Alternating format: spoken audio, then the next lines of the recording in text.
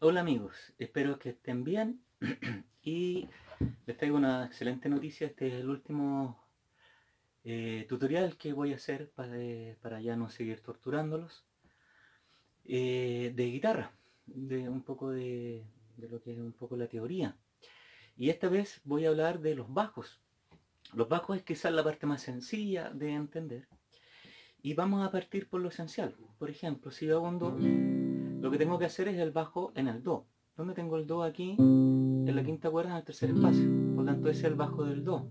En el caso del re, estoy hablando de los bajos naturales. Eh, el caso del re es la cuarta cuerda al aire. El caso del mi es la sexta cuerda al aire. ¿Y por qué son los bajos? Porque esa es la nota que suena, eh, correspondiente al acorde. Si yo tengo un caso del mi, yo hago la sexta al aire, tengo un mi. Si hago un re, tengo la cuarta al aire que es un re. ¿Ya? caso del fa es análogo al mi, fa, fa sostenido, sol. caso del sol es la sexta cuerda en el tercer espacio porque ahí tengo un sol. caso del la es la quinta cuerda al aire porque ahí tengo un, un, eh, un la. Y el caso del si es análogo al del la porque aquí tengo un si. Ahora, eh, la parte eh, más eh, interesante de esto es que yo puedo hacer un bajo distinto al del acorde natural. Por ejemplo, en el caso del Do, el bajo más común es hacer el bajo en el Sol.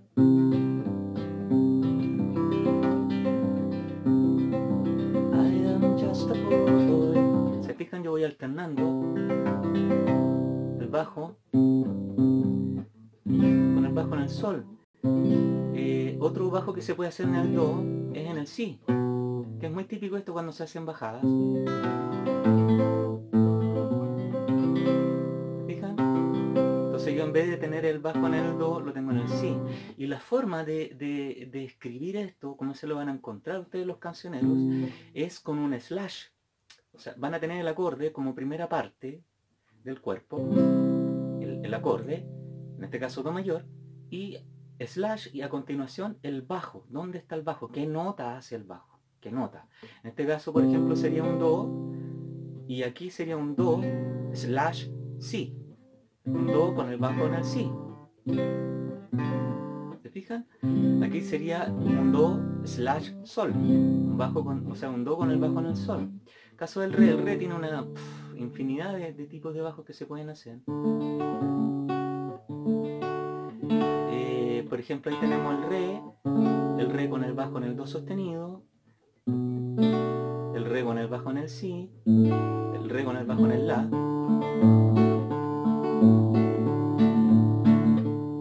el re con el bajo en el fa sostenido, por ejemplo, eh, etcétera. O sea, dependiendo de qué es lo que diga después el slash, lo que viene a continuación de ese slash es la nota que, eh, que hace de bajo. Eso es el bajo. Por ejemplo.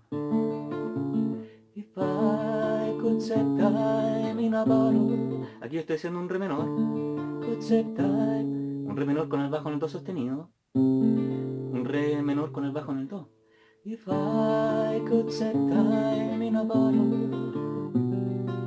¿Se fijan? eh,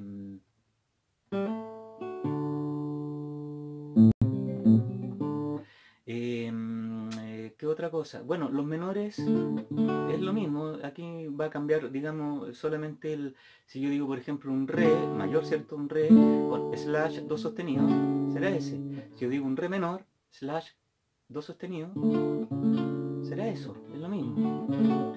Salvo que cambia, digamos, que el acorde ya no es mayor, sino que es menor. Ahora, si fuera séptima, es lo mismo. O un re 7 con el fa bajo en el fa sostenido. O un re 7 más con el bajo en el fa sostenido. O un re 7 más con el bajo en el la. El mi. Eh, el mi normalmente tiene el bajo ahí. también puede tenerlo en el sol sostenido. Otra forma de hacer el mi con el bajo en el fa sostenido es, como haciendo el, el re con el fa sostenido y se corren dos espacios, este es un re, por tanto ese es un mi, ese es un fa, ese es un sol. ¿Se fijan? Re, mi, fa, sol. Em, entonces yo puedo hacer el, el, el mi aquí, ¿cierto? Y le pongo el bajo el sol sostenido. O puedo tenerlo al aire, al aire la sexta, ¿cierto? O en el sol sostenido. O puede ser un mi 7, que en este caso sería así. 7 es un Mi 7, con el bajo en el Sol sostenido, Mi 7 Sol sostenido.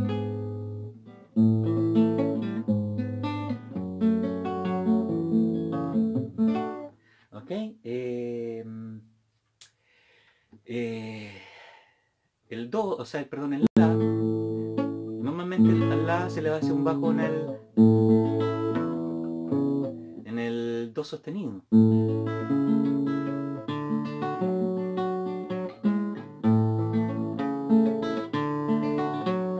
haciendo un La, La do sostenido, Re, Re Fa sostenido.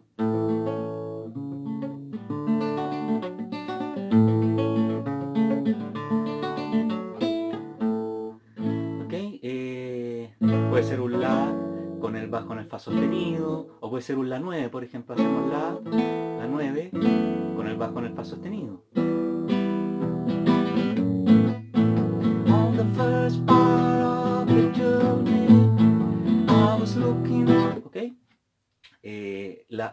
el, acorde, o sea, la primera parte de la nomenclatura dice qué tipo de acorde es. Si les dice, por ejemplo, un Do menor 7, ustedes hacen el Do menor 7 y si les aparece un slash y dice que el bajo, por ejemplo, es en el, en el La sostenido, aquí tenemos La sostenido.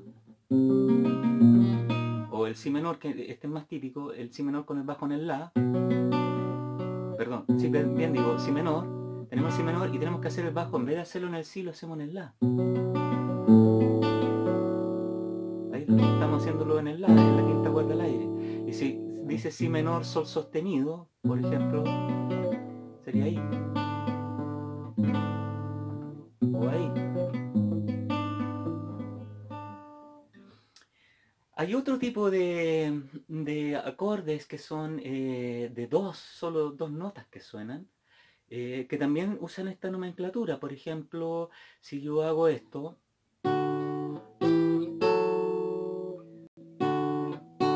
haciendo sonar solo la cuarta al aire y la primera en el segundo. Esto se llamaría re, perdón, fa sostenido, re. Esto se llamaría sol, mi. Esto se llamaría sol sostenido, fa sostenido. lo único que hace es nombrar las dos notas que están sonando, primero la alta y luego la baja.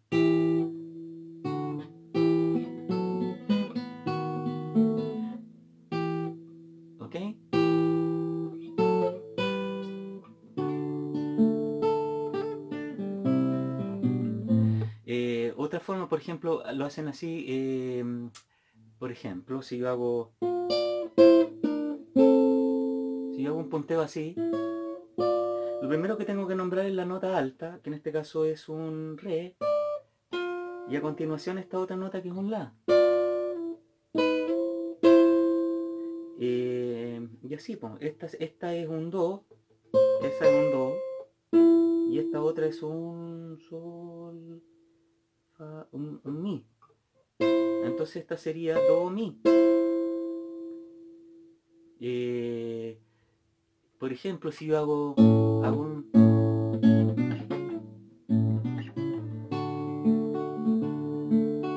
Quizás porque... Aquí estoy haciendo un La.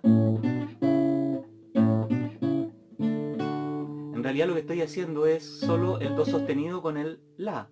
Sería un Do sostenido La. Esto sería un Re, esta, un Re con el bajo en el Si. Y esta sería un Mi con el bajo en el Do sostenido.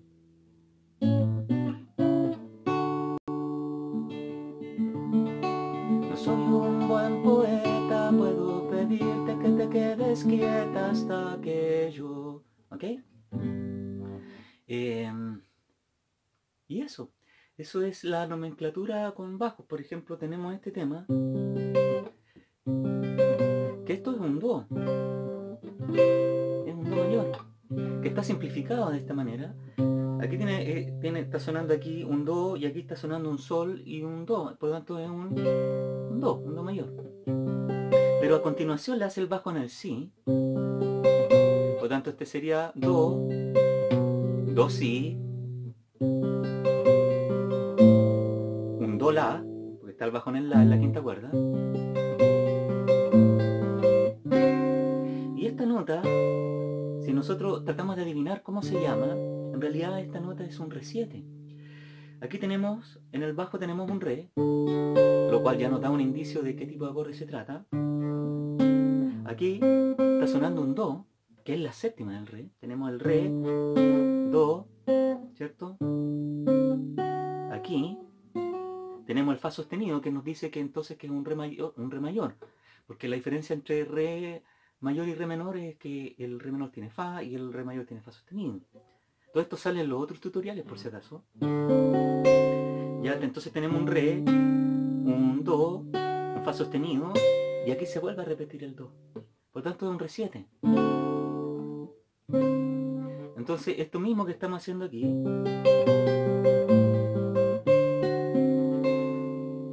hacer aquí. Un do, hacemos un Do, que es lo que, es lo que hacemos acá. Ok, un Do, un Do Si.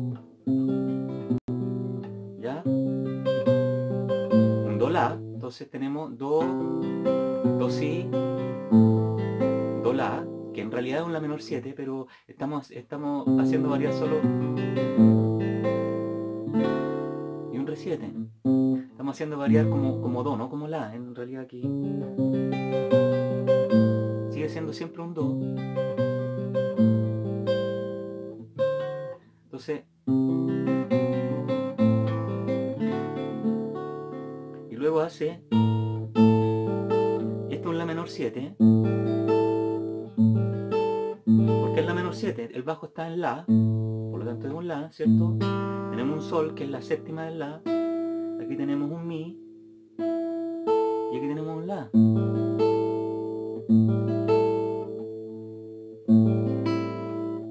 Ya, tenemos el La.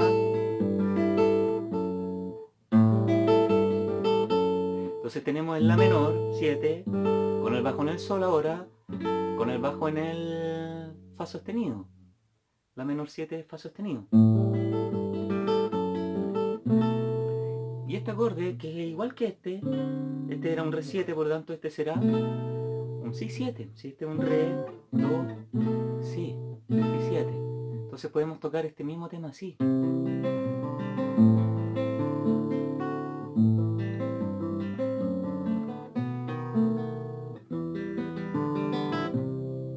¿Se fijan? Eh, lo único que se hace es que en vez de hacer el Do aquí, lo está haciendo acá arriba.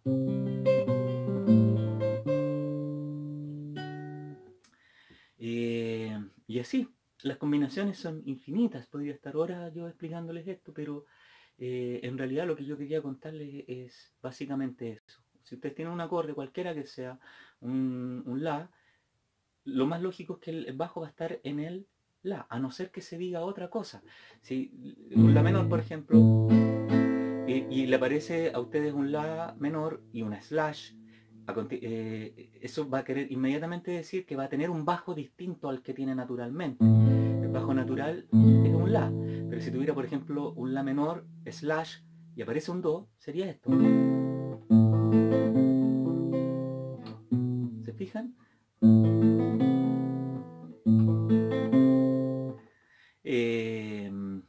Ejemplo, si les aparece, a ver qué otra nota puede ser. Normalmente aparece este sol y aparece este, este acorde escrito como sol si. En realidad sí, es más o menos un sol si, que viene a ser como un sol pero con el bajo en el si. En la quinta cuerda en el segundo espacio que es un si. Eh, eh, eso pues amigos. Eso es con respecto a los bajos.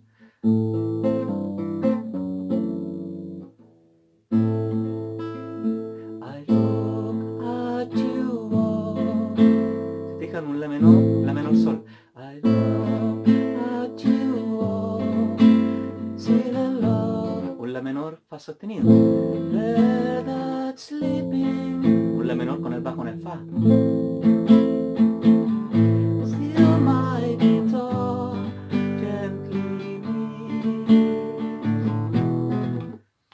Eso pues amigos. Bueno, con esto yo termino este, esta saga de mini tutoriales. Ahora le tocó el turno a los bajos y próximamente quiero hacer un tutorial de Violeta Parra.